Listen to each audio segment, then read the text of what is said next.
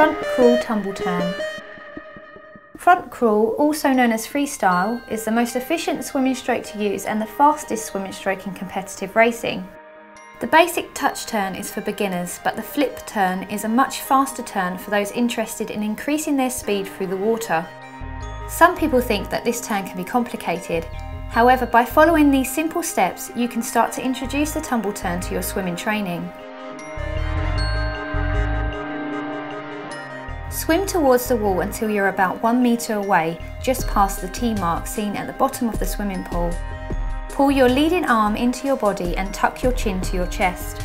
As your hand reaches your chest, begin to roll your body round. Place both feet onto the wall facing the surface of the water at shoulder width apart and with your knees bent. Having your knees bent is essential to give you power when pushing off the wall.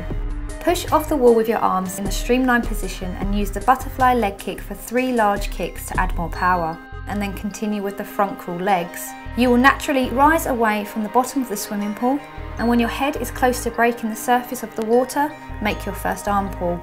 So to summarise, performing a tumble turn can make your swimming faster and more efficient. Don't slow down when swimming towards the wall as you won't rotate your body fast enough and you won't complete your tumble turn. When you have mastered your front crawl tumble turn, then you can move on to the backstroke tumble turn. So that's the front crawl tumble turn. Thanks for watching and don't forget to check out our other advice videos and our online swim store at simplyswim.com.